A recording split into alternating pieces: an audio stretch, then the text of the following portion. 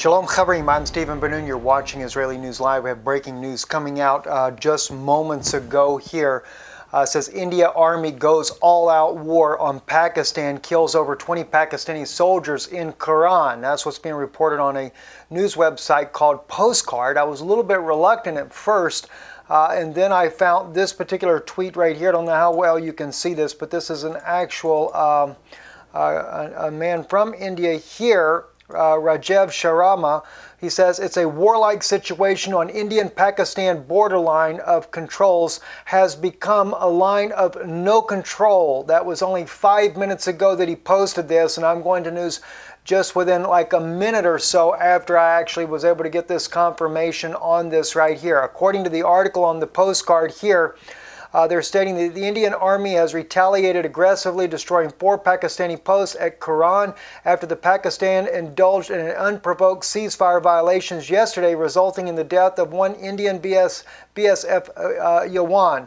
The Home Ministry is said to have given free hand to the Army and told them to give uh, uh, befitting reply to the Pakistanians. The, the army launched a massive fire assault at Pakistani post in Keran uh, area. According to the reports, heavily casualties have been reported on the Pakistani side. Initial reports that have been as many as 50 casualties.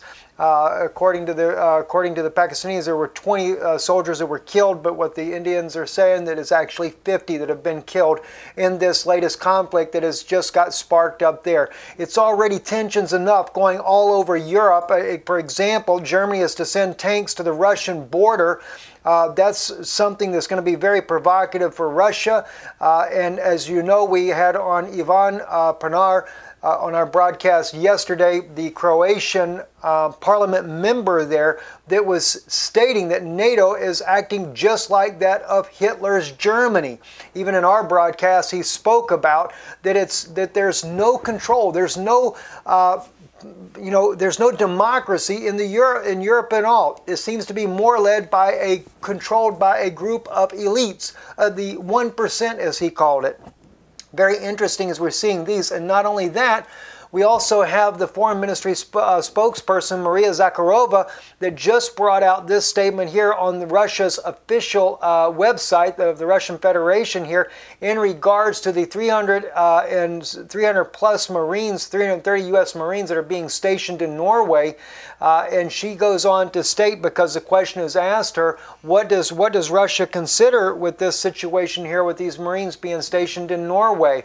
Well, as she states in here, they're going to be given the freedom to move about anywhere inside of Norway while they are there. And uh, make it a little bit bigger here on the screen for you guys so you can see this article for yourself.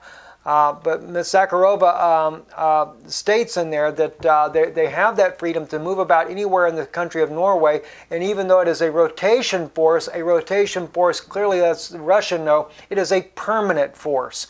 Uh, they also mention that it doesn't seem like very many as far as the number, but nonetheless that they're allowed to go anywhere inside of the country of Norway, uh, and that would also mean near Russia's border on the northern end. So Russia is very concerned about this. Uh, we have on top of it a fresh wave of militant shellings that kills three and injures 40 in a government held West Aleppo, according to the doctors that are saying this to RT uh, International. And uh, I, I, just after a huge wave of children that were attacked and killed by rebel groups there, U.S. backed rebel groups inside of Syria.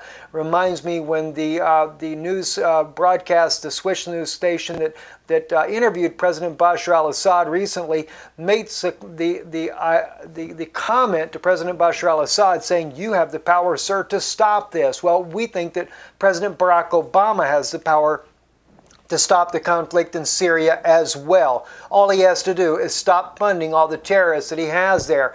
And especially at this particular time, I think that would be a great thing to do because Bashar al Assad has given three months uh, uh, of an open door to those Syrian uh, citizens that want to lay down their arms and come back into the community without facing prosecution. So that's pretty serious there to be to open that door for them. Uh, so yes, it now lays in the hand of President uh, Barack Hussein Obama to make the decision to quit arming the terrorists who are nothing but a bunch of thugs that go around killing children and maiming civilians. Um, Very serious situation indeed. Also, an interesting article that came out on Sputnik today West can't afford to stumble into a military conflict between U.S., Russia, and China. U.S. leadership to reconsider its relationships with geopolitical competitors, China and Russia, putting a greater power relations before a hegemonic ambitions.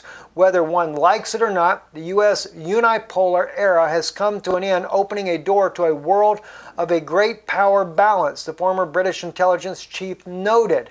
Now, that's what he's noting, but the posturing by NATO forces and the U.S basically forcing the hands of, a, of the very select few that seem to be in power, as we see from uh, the, the uh, MP member, uh, Mr. Uh, Ivan Pernar, letting us know that they don't even have a say. The prime minister, as he said, comes back to Croatia, and clearly uh, he asked the question, why, why did we all of a sudden do, uh, vote for our people in Croatia to go to war on Russia's border? But he got no answer whatsoever. So it's not the governments of these European Union nations, whether it be Croatia, whether it be uh, the Czech Republic, Slovakia, France, Germany, etc. The people don't want to see their children on the borders and fighting in a war that the U.S. Uh, President Barack Obama seems to be instigating. But nonetheless, they are moving uh, all these troops there. So it lets you know it is clearly for a globalist agenda, a new world order, a hegemony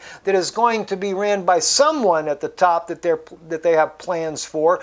Uh, so if you've ever thought about an antichrist system, they are fighting to bring one about. And it seems like some nations just don't want any part of that. Can't say as I blame them.